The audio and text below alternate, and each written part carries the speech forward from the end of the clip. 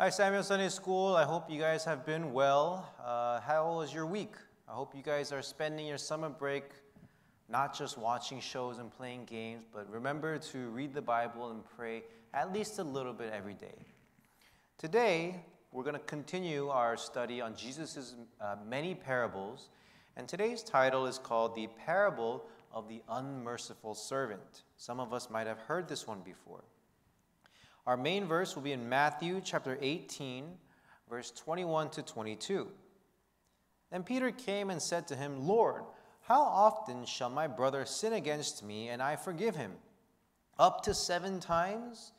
Jesus said to him, I do not say to you up to seven times, but up to 70 times seven.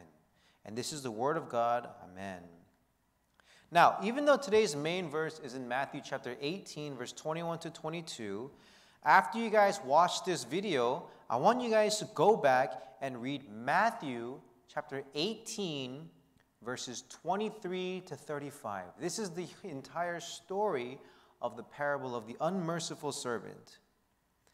So I guess one day, Peter, which is one of Jesus' disciples, he must have had an argument with somebody, someone that didn't like him and maybe mistreated him. Now, I say this because Peter, after encountering such a very troublesome event, he goes to Jesus. And he goes to Jesus with a very good question Jesus, how many times must we forgive our brothers and sisters who sin against us? And to answer Peter's question, Jesus gives a parable. Now, long ago, there was a king, and this king had a lot of people who owed him a lot of money. So the king began with the person or the slave that owed him the most money. Now, this particular slave ended up owing the king 10,000 talents.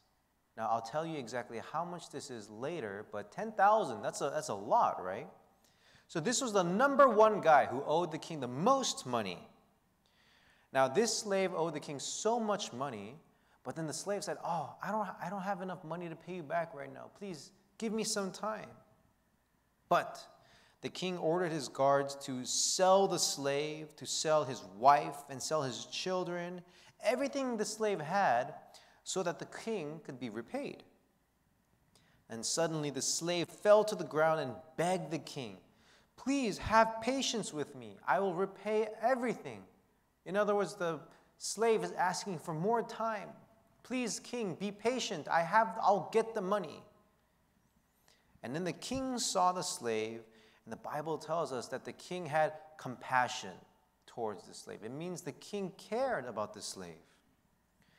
So then the king released the slave and forgave this huge debt of 10,000 talents. How do you think the slave felt? Probably something like the image here. He knelt down and he's holding his hands together, saying, Oh, thank you so much. So then this slave leaves the palace and just goes about his regular everyday life. Now, eventually, the slave ran across someone who he found that owed him money. And when he found the man who owed him money, this greedy slave did not ask nicely. The man who owed the greedy slave money said he didn't have it, that he needs more time to get the money. Isn't this the same thing that the greedy slave did to the king? But the greedy slave seized him and choked him, saying, Pay me what you owe.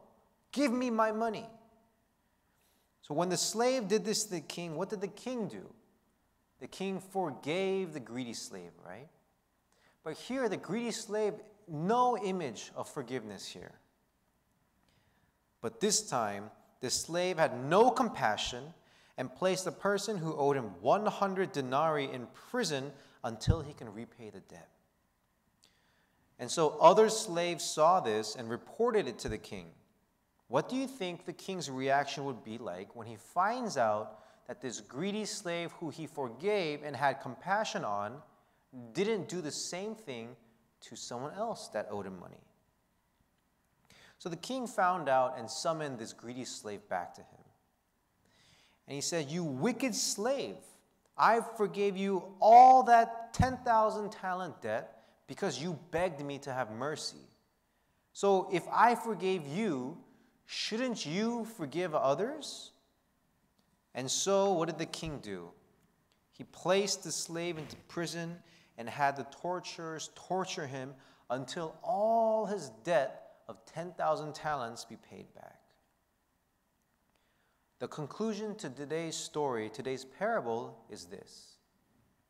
In Matthew chapter 18, verse 35, Jesus says, My heavenly Father will also do the same to you if each of you does not forgive his brother from the bottom of your heart.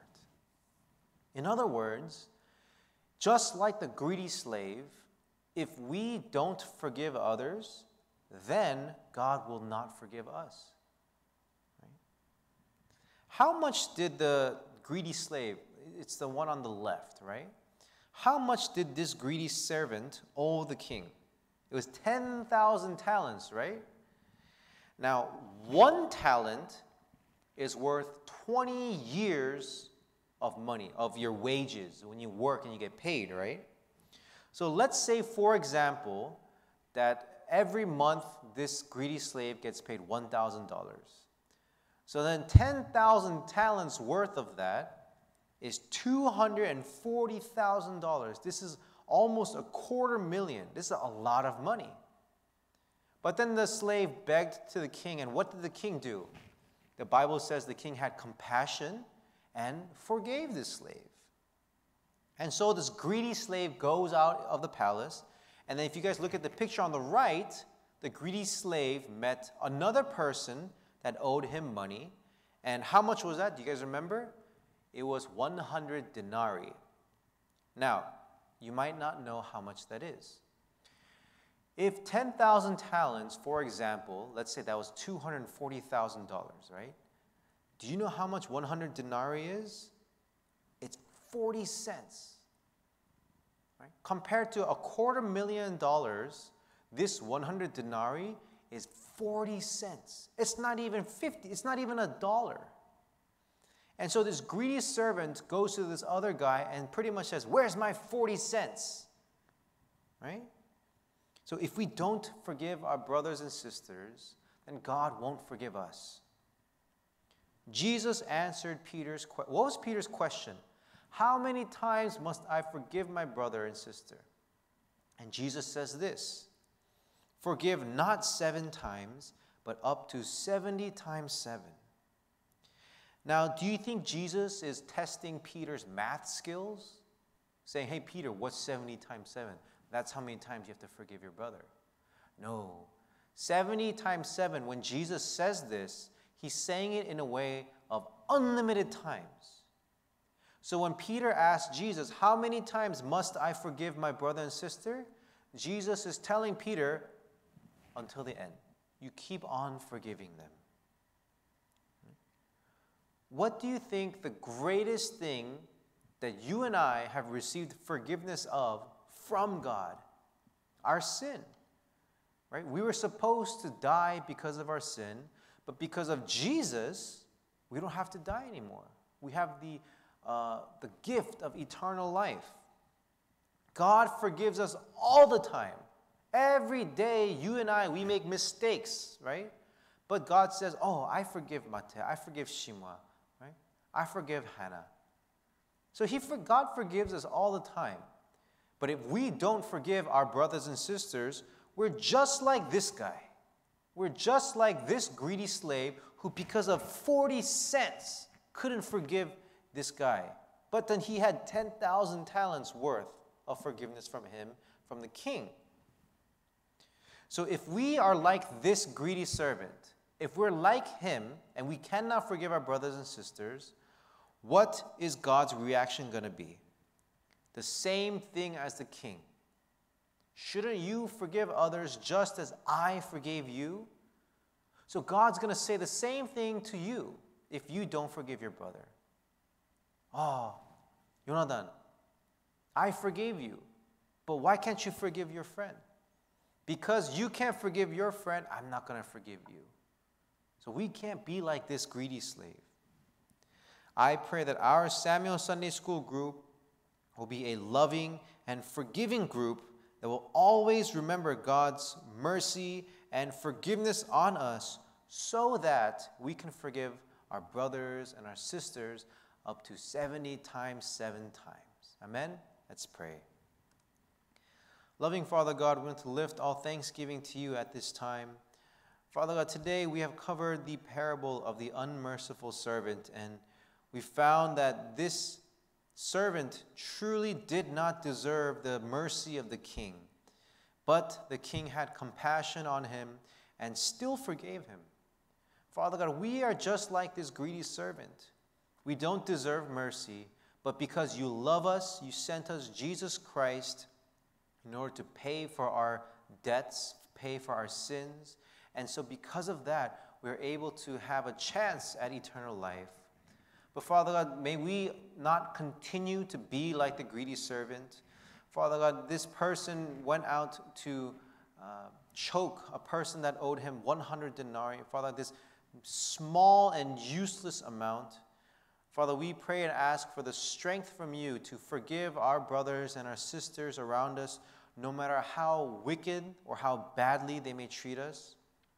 But Father, may we remember this parable of the unmerciful servant May we store it deep within our heart so that when the time comes, we can think about this parable and be able to forgive all kinds of people. Because, Father God, we are reminded today that you forgive us all the time. We thank you for all that you have done. And we pray and ask all of this in the precious name of Jesus Christ. Amen. Let's give glory to God. Okay, guys, have a good and safe week. I will see everybody next week. Bye.